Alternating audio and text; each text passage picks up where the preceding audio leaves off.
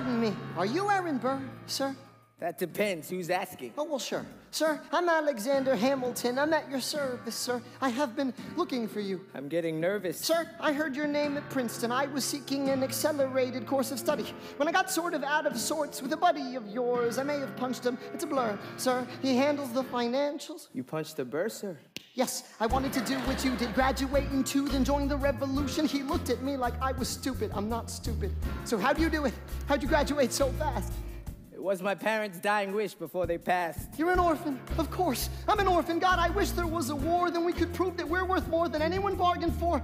Can I buy you a drink? That would be nice. While we're talking, let me offer you some free advice. Talk less, What? smile more. Huh. Don't let them know what you're against or what you're for.